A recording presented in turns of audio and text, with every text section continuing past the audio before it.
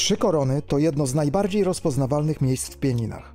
Jeśli jednak myślicie, że to tylko trzy skały, to zaskoczę was. Mimo nazwy mamy tutaj aż pięć kozackich turni z okrąglicą na czele. Wznosi się ona na 982 metry, jednak choćbyście stawiali na nią największe pieniądze, to nie jest to najwyższy szczyt Pienin. A kto z Was wie, jaki szczyt jest najwyższy? Napiszcie w komentarzu, a tymczasem czas na kilka konkretów. Jeśli jesteście z tych, którzy szukają przygody przez cały rok, trzy korony są dla Was. Zwłaszcza jesienią, kiedy przyroda robi niebywały pokaz. Nie wiecie skąd ruszyć? No nie dziwię się. Macie kilka opcji startowych. Szczawnica, Krościenko nad Dunajcem, Sromowce Niżne, a także Czorsztyn. Wybór należy do Was. Z przełęczy chwała Bogu w 40 minut dotrzecie na okrąglicę. Jest jedno ale. Najpierw trzeba tam się dostać. A nazwa nie jest przypadkowa, uwierzcie mi. Jeśli lubicie zimowe wypady, to polecam ruszyć z Krościenka żółtym szlakiem. Jest dobrze znany i często uczęszczany, więc pewnie wam się przyfarci i będzie przetarty. Muszę się wam do czegoś przyznać. Zawsze byłem sceptyczny wobec Trzech Koron. Nie chciało mi się tam jechać, ale kiedy w końcu dotarłem na miejsce i poszedłem szlakiem od Sromowców Niżnych, moje wątpliwości zostały rozwiane. Miejsce jest niesamowite i całe szczęście, że nie słuchałem siebie. Góry, jesień, te kolory, widok z Trzech Koron i na nie same to coś, co zostaje z każdym na długo. Polecam zatem każdemu. To naprawdę wyjątkowe miejsce. Choć zdjęcia z Trzech Koron jeszcze się nie wydrukowały, to my już zmierzamy do kolejnej perełki. Wysoki Wierch. Jest to miejsce wyjątkowe. A teraz parę faktów dla tych, co lubią wiedzieć, co ich czeka. Wysoki Wierch to prawdziwy król małych pienin, więc z pewnością nie będziecie rozczarowani. Planujecie trip z czworonożnym przyjacielem? Bez problemu, tu psy są mile widziane. Szlak? Jak ścieżka w parku, tylko z lepszymi widokami. No i może trochę bardziej pagórkowato. Wędrówka nie zajmie całego dnia, wystarczą ze 3 godzinki. Właśnie tyle, żeby wrócić na czas na kawę. Jeśli jesteś miłośnikiem zwierząt, to miej oczy szeroko otwarte. Owce i psy pasterskie mogą ci przecinać trasę. A jeśli chcesz przeżyć magię wschodu lub zachodu słońca w górach, no cóż, to miejsce jest idealne. Co ja sądzę o Wysokim Wierchu? Kiedy podchodziłem na niego, czułem, że to coś więcej niż kolejna góra na mojej liście. To miejsce ma zdecydowanie magię. Gdy stanąłem na szczycie i zobaczyłem panoramę na Tatry, serce zabiło mocniej. I choć jestem wielkim fanem zimowych wędrówek, małe pieniny o każdej porze roku są czymś wyjątkowym. Na pewno wrócę tam jeszcze nie raz. To miejsce ma w sobie coś, co ciągnie mnie tam z powrotem. Jeśli jeszcze tam nie byliście, nie zwlekajcie. Atrakcja numer 3 to według mnie wysoka. Zastanawialiście się kiedyś, skąd biorą się nazwy gór? Wysoka. No cóż, tym razem jest to bardzo trafne określenie. Wysoka to właśnie najwyższy szczyt Pienin. Wznosi się na wysokość 1050 metrów. Gdyby miała konto na Instagramie, to z pewnością byłaby królową influencerek górskich. A teraz kilka faktów. Wysoka niekiedy nazywana jest również wysokimi skałkami. Ukryta w małych pieninach nie jest łatwa do zdobycia, ale warta każdej kropli potu. Dla tych, którzy zdobywają koronę gór Polski, to obowiązkowy punkt. I tak, droga na szczyt prowadzi przez przepiękny wąwóz Homole. I to już samo w sobie jest niesamowite, ale widoki z góry na Magurę Spiską i Tatry to coś, co zostanie w pamięci na lata. Musicie wiedzieć, że po deszczu szlak staje się trochę bardziej wymagający. Osobiście miałem lepsze doświadczenia zimą, kiedy to śnieg dodał magii temu miejscu. Ale niezależnie od pory roku, kiedy stanie się na szczycie i poczuje tę satysfakcję, wszystkie trudy zostają zapomniane. Widok to prawdziwy majstersztyk natury. I choć kuszący jest pomysł ruszenia dalej w stronę wysokiego wierchu, polecam dać sobie chwilę i naprawdę nacieszyć się wysoką. Magia tego miejsca jest naprawdę warta chwili zatrzymania. Kiedy myśli się o pieninach, jednym ze szczytów, które przychodzą na myśl, jest niewątpliwie Sokolica. I zdecydowanie jest za co ją kochać. To nie tylko widokowo perfekcyjny punkt, ale także kawałek historii przyrody i kultury. Sokolica to symbol pienin i wręcz obowiązkowy punkt w planie każdego górskiego turysty. Widok ze szczytu, no cóż, mówimy tu o panoramicznym spektaklu, zarówno w pionie, jak i w poziomie.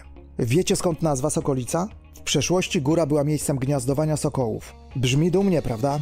A ta sosna na szczycie? Legenda wśród drzew. Ma niemal 500 lat. Warto wspomnieć o smutnym incydencie z 2018 roku, kiedy to w wyniku wypadku podczas akcji ratunkowej korona tej właśnie słynnej sosny została odłamana.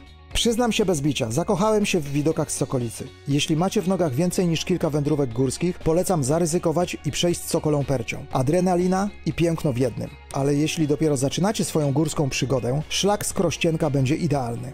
Jedno jest pewne, każdy krok w stronę Sokolicy to prawdziwa uczta dla zmysłów.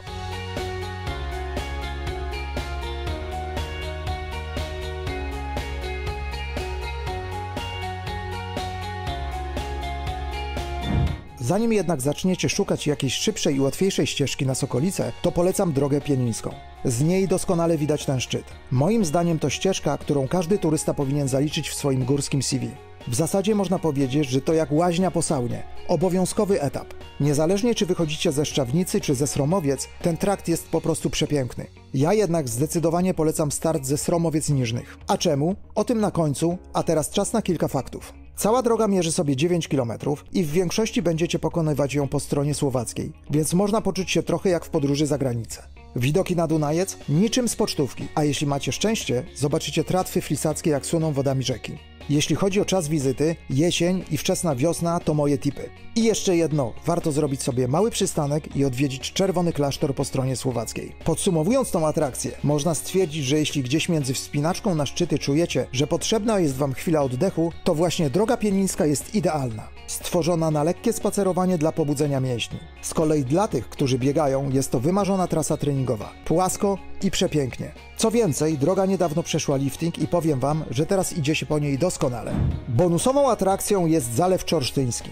Chociaż zbiornik ten jest sztuczny i został stworzony dopiero w 1996 roku, stał się integralną częścią krajobrazu i przyciąga turystów z całego kraju i nie tylko. Zapewnia on jednocześnie piękne przyrodnicze widoki, jak i historyczne perełki. Rozciągający się na przestrzeni aż 11 km2 zalew oferuje wiele atrakcji dla osób pragnących aktywnie spędzić czas na świeżym powietrzu, jak i tych, którzy po prostu chcą podziwiać piękno natury. Zaczynając od imponującej zapory czorsztyńskiej, a skończywszy na malowniczych Niedzice i Czorsztynie, każdy znajdzie tu coś dla siebie. Dla miłośników historii regionu, zamek Dunajec w Niedzicy z XIV wieku oraz zamek w Czorsztynie to prawdziwe perełki przywołujące dawne czasy. Były one świadkami burzliwej historii tej części Polski. Zapora Niedzica, często nazywana zaporą czorsztyńską, to techniczne cudo i idealne miejsce na spacer z widokiem na zalew oraz otaczającego góry.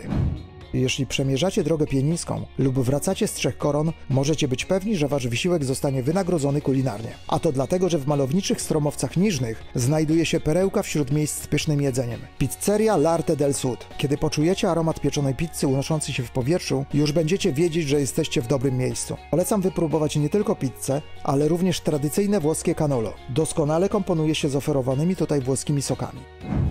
Co do noclegu, to jeśli marzycie o miejscu, gdzie można oderwać się od zgiełku miejskiego życia i na chwilę zanurzyć w ciszy i spokoju, to dom podróżnika w Maniowach jest idealnym miejscem dla Was. Ten urokliwy pensjonat położony jest nad jeziorem czorsztyńskim, oferując gościom nie tylko komfortowy nocleg, ale przede wszystkim możliwość relaksu w otoczeniu malowniczych krajobrazów. Położenie obiektu sprawia, że jest on idealnym punktem wypadowym dla miłośników aktywnego wypoczynku.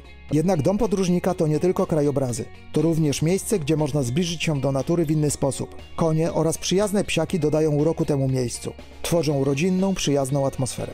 Jak widzicie, Pieniny to niesamowity region, który z każdą wizytą oferuje nowe odkrycia i doświadczenia. Od historii ukrytej w murach zamków, przez dzikie rzeki i Zalew Czorsztyński, aż po autentyczne smaki włoskiej kuchni. Ale jedno jest pewne, żadne słowa czy obrazy nie oddadzą pełni uroku tego miejsca. Trzeba tam po prostu być. Właśnie dlatego gorąco Was namawiam, nie siedźcie w domu, tylko przyjedźcie w Pieniny. Ciao!